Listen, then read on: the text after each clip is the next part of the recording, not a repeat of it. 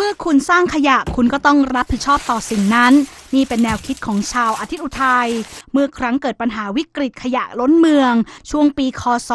1990 เป็นต้นมา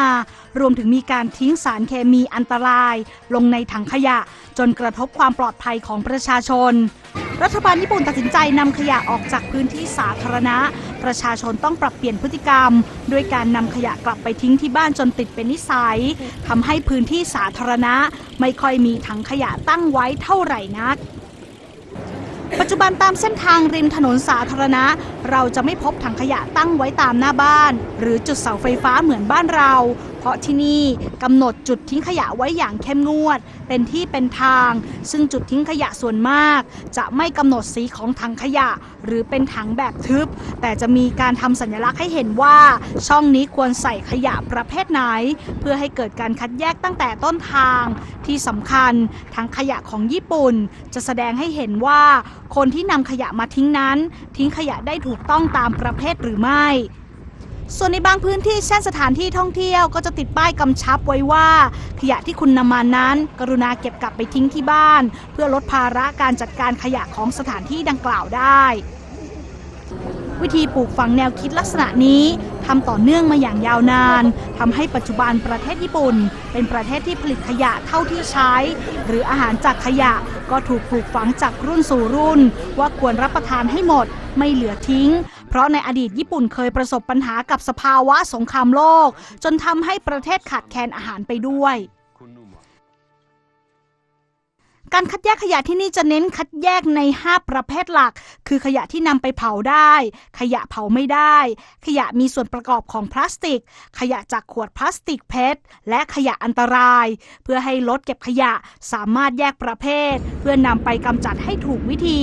ลดการสะสมของขยะจำนวนมาก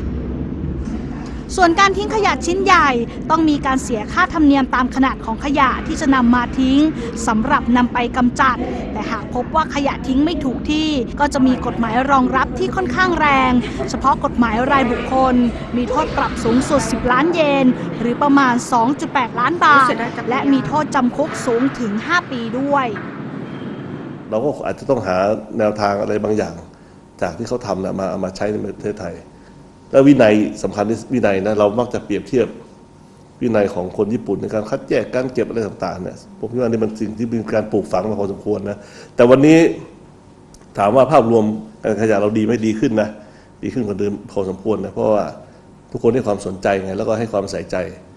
นะมือนเหมือนเมื่อก่อนเนี่ยเราไปไหนคนจะโยนขยะทิ้งเนี่ยเป็นเรื่องปกตินะเดี๋ยวนี้ไม่ได้นะมันทุกคนคนเริ่มจะจะมีอายอะ ไม่ไม่ทำอะไรอย่างนี้ไม่ได้ใช่ไหมเหมือนเหมือนเหมือนบ้วนน้ำลายหรือไม่มีนะ ทุกคนก็จะเข้าสู่กระบวนการที่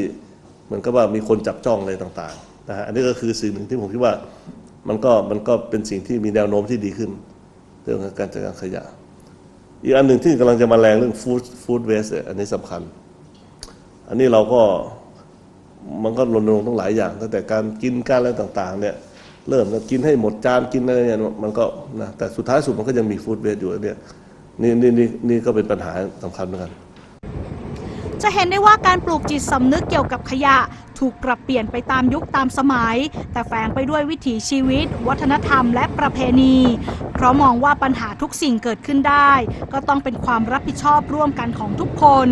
ปัญหาขยะที่เกิดขึ้นในประเทศ จึงไม่ใช่ความรับผิดชอบของฝ่ายใดฝ่ายหนึ่ง เพราะทุกคนมีส่วนร่วมกันผลิตขยะขึ้นมาเหมือนเหมือนกัน